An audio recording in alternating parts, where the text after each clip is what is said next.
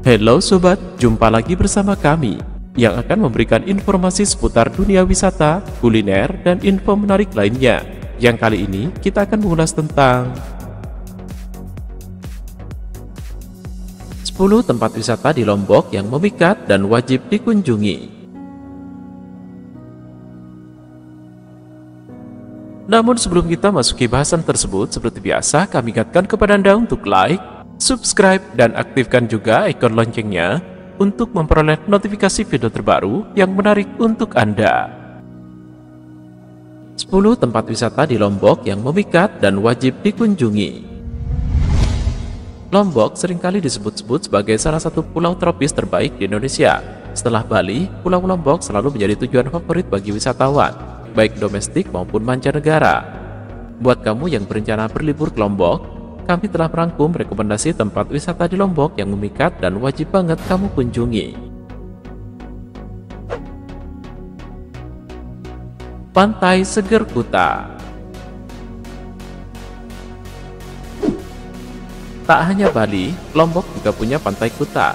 Pantai ini merupakan bagian dari kawasan wisata Mandalika yang berada di Lombok Tengah. Selain menikmati pantai yang ciamik, kamu juga bisa mendaki bukit di sekitar pantai seger di kawasan ini.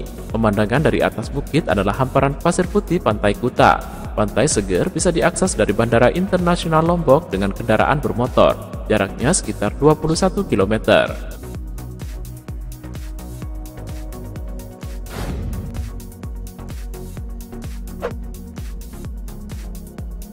Taman Wisata Pusuk Sembalun Taman Wisata Pusuk Sembalun berlokasi di kawasan lereng Gunung Rinjani, Desa Sembalun Bumbung, Kabupaten Lombok Timur. Spot wisata ini menyuguhkan semacam gardu pandang dengan pemandangan unik di ketinggian sekitar 1250 meter di atas permukaan laut. Sejauh mata memandang, kamu akan dibanjakan dengan hijaunya hutan dan pegunungan. Selain menyegarkan, tempat ini juga instagramable banget.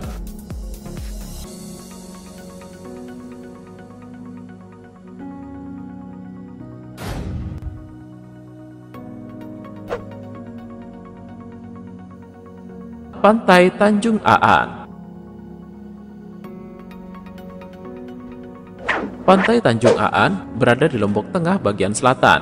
Pantai ini sangat terjangkau karena hanya berjarak sekitar 15 menit dari pusat kota Mataram. Pantai Tanjung Aan menawarkan panorama yang sangat mempesona. Pasirnya putih dan halus, airnya pun jernih kebiruan. Gak heran kalau pantai satu ini sanggup menyegarkan mata dan pikiranmu.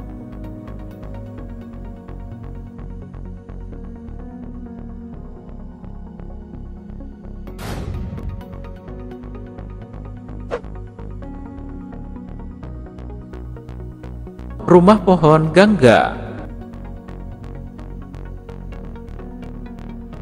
Rumah Pohon Gangga memiliki konsep serupa dengan Taman Wisata Pusuk Sembalun, yakni gardu pandang yang berada di ketinggian.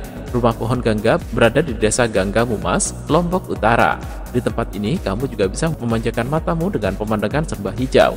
Lokasinya yang dekat dengan air terjun juga jadi satu hal yang menambah keelokan Rumah Pohon Gangga.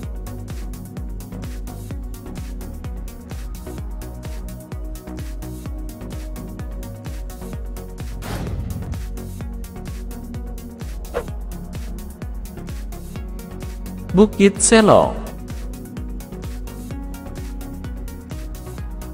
Bukit Selong atau Bukit Belek berlokasi di Desa Sembalun Lawang, Kecamatan Sembalun, Kabupaten Lombok Timur.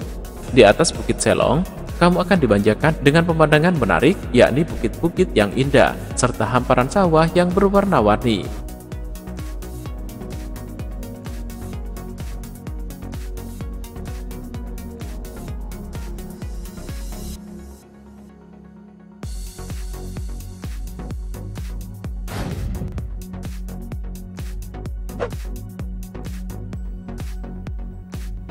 Air terjun Madu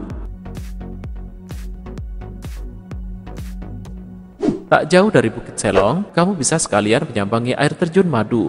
Lokasinya masih di daerah Sembalun, tepatnya di Desa Bilok Petung, Kecamatan Sembalun, Kabupaten Lombok Timur. Ketinggian air terjun ini mencapai sekitar 20 meter. Airnya segar dan berwarna hijau kebiruan. Dari kejauhan, air terjun ini telah memancarkan keindahannya, sehingga menjadi magnet tersendiri bagi wisatawan.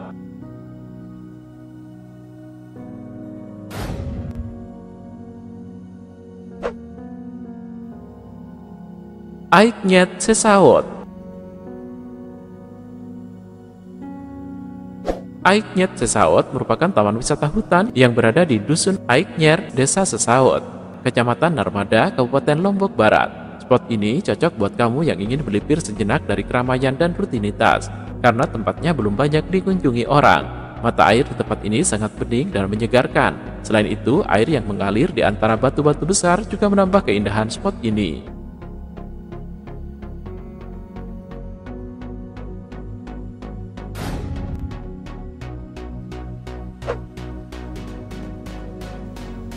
Pantai Tangsi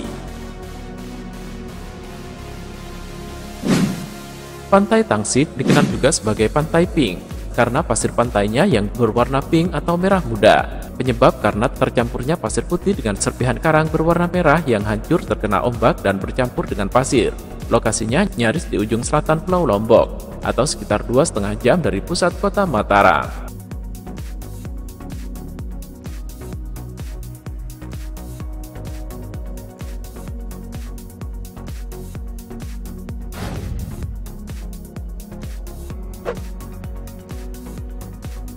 Air Terjun Tiu Teja Air terjun Tiu Teja terletak di Desa Santong, Kecamatan Kayangan, Kabupaten Lombok Utara. Air terjun dengan ketinggian 40 meter dan lebar 10 meter ini cocok untuk kamu yang merindukan ketenangan dengan panorama alam hijau. Kondisinya masih sangat asri dengan ditumbuhi tumbuhan hijau dan lebat.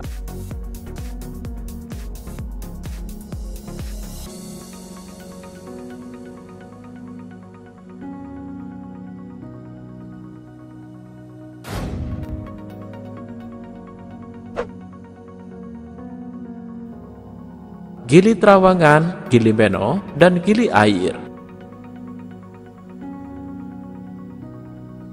Rasanya kurang afdol kalau mengunjungi Lombok tapi belum main ke Gili Trawangan, Gili Beno, dan Gili Air.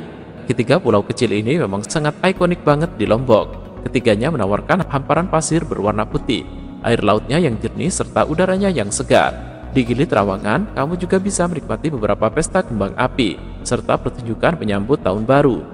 Gilimeno cocok buat kamu yang mendapatkan kesunyian dan ketenangan karena pulaunya paling sunyi.